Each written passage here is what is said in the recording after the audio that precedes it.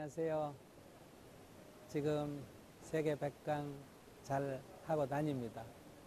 오늘로서 유럽 강연 29회를 모두 마쳤습니다.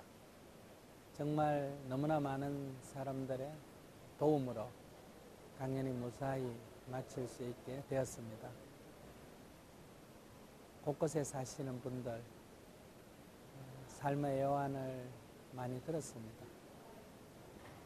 고국을 떠나서 낯설고 물설은 외국에서 그래도 뿌리 내리고 사는 우리 교민들을 볼 때 때로는 감동도 있고 때로는 눈물겨운 그런 아픔도 있었습니다.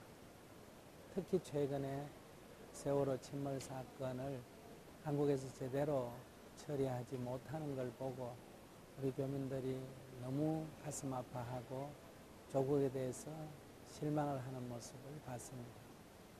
한국에 살고 있는 우리들이 해외에 있는 교포들에게 다시는 이런 실망을 주지 않아야 될 것 같습니다. 그들에게 희망이 될 수 있는 그런 좋은 나라를 우리가 만들어 나가야 될 것 같습니다.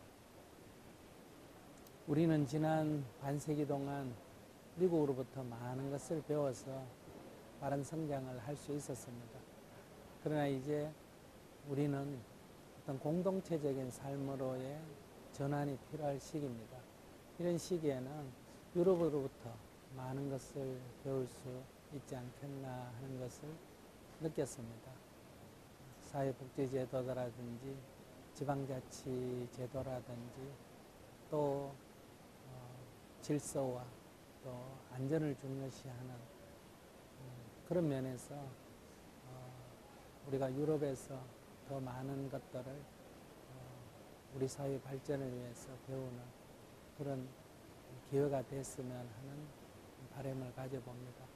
또 나라가 다름에도 불구하고 서로 이렇게 협력해서 국경이 개방되는 걸 보면서 우리는 같은 동족인데도 아직도 철조망이 가로놓인 분단의 현실이 너무나 가슴이 아팠습니다.